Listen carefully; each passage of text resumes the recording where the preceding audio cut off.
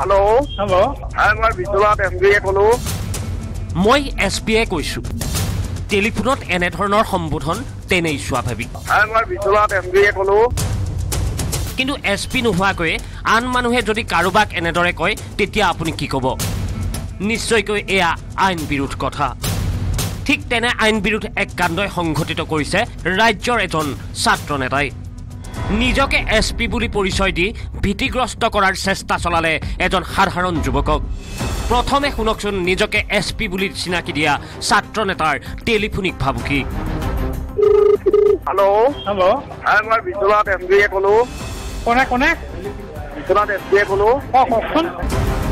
শুনিলে নিজকে বিশ্বনাথৰ এছ পি বুলি চিনাকি দিওঁতাজনে বাৰে বাৰে সুধিছে এখন কাজিয়াৰ কথা।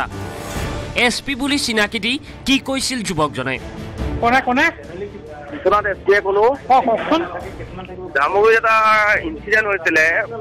ৰিপৰ্টাৰ এজনক মাৰপিট কৰিছে তাৰে এজন তপন ডেকা বুলি। ফোনত এছ পি বুলি চিনাকি দিয়াজন প্ৰকৃততে যে এছ পি নহয় সেয়া কেনেকৈ জানিলে ভুক্তভোগী যুৱকজনে? প্ৰকৃততে কোন নিজকে বিশ্বনাথৰ এছ পি বোলাজন আনচেভ নাম্বাৰৰ পৰা ফোন কল আহিছে। মই ফোনটো ৰিচিভ কৰিছোঁ। কওঁতে কৈছে হেল্ল' মই এছ পি বিশ্বনাথ। মই তেতিয়া চিন্তা কৰিছোঁ কাজিয়াখন লাগি ভাগি শেষ নহ'ল বিশ্বনাথ এছ পি ইয়াত ইনভল্ভ হ'ল কথাটো কি?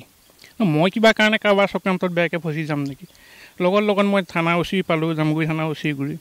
গৈ সুধিলোঁ কোনো এছ পি ছাৰৰ নাম্বাৰ এইটো নেকি? কৈছে এইটোতো নহয়। তেতিয়া মই এজাহাৰ দিলোঁ। এজাহাৰ দিয়াৰ পিছত মই গম পালোঁ বিভিন্ন সূত্ৰৰ পৰা যে এইটো জিলা ছাত্ৰ সন্থাৰ সভাপতি অভিজিৎ নাথ ডাঙৰীয়া ফোন নম্বৰ। হয়। বিশ্বনাথ জিলাৰ এজন বিয়াগুম ছাত্ৰ নেতা অভিজিৎ নাথেই চিনাকি দিছিল এছ পি বুলি। এছ পি বুলি চিনাকি দি আছুৰ এজন সদস্যৰ সপক্ষে ক'বলৈ ভাবুকি দিছিল এইজন যুৱকক।